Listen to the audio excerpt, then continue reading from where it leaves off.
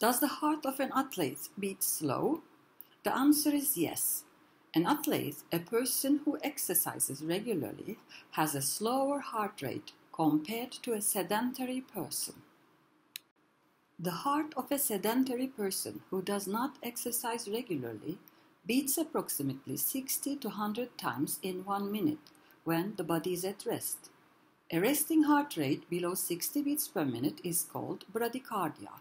Bradycardia in a sedentary person points out to a problem and deserves a visit to the doctor. However, a heart rate below 60 per minute is considered normal for athletes because the heart of an athlete beats with greater power. Why is the heart of an athlete more powerful? We know that weightlifting exercises force the muscles in our extremities to work extra and hence increase their size and power. The heart also consists of muscle.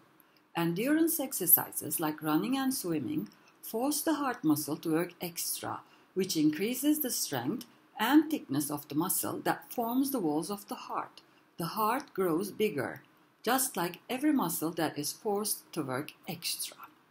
Why does running and swimming make the heart more powerful? The function of the heart is to supply sufficient amounts of blood to our body and meet the demand of our body. There is an amazing relationship between the body and the heart. The body has mechanisms to push the heart to work more when the demand of the body for blood increases. The more blood the body demands, the more blood the heart pumps within physiological limits. During running and swimming, the demand of the body for blood increases. This pushes the heart to work extra.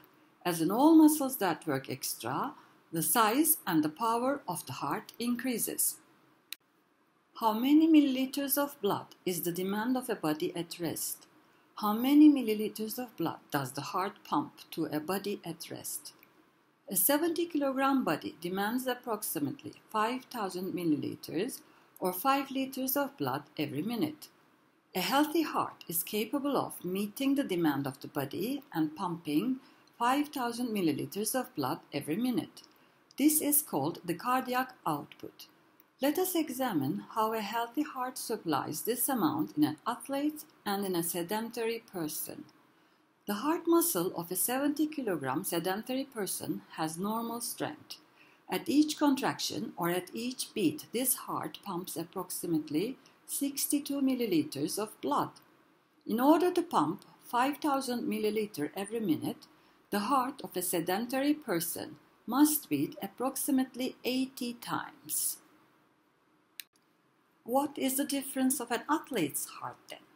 The body of a 70 kilogram athlete demands the same amount of blood from the heart every minute, 5000 milliliters. The heart of an athlete is more powerful and is able to pump up to 100 milliliter with each beat. Such a heart needs to beat only 50 times every minute in order to pump 5 liters it is able to supply the sufficient amounts of blood with a lower heart rate. Whether the heart beats 50 times or 80 times does not matter, as long as the body receives the amount of blood that it demands from the heart, totally approximately 5000 milliliters of blood every minute.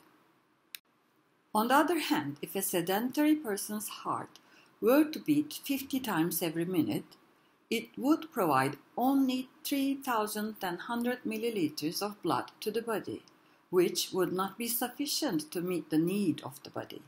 A condition like this, where the heart fails to supply the demand of the body, is called heart failure or cardiac insufficiency. In summary, a slow heart rate may not be a problem for an athlete, but it certainly is for a sedentary person.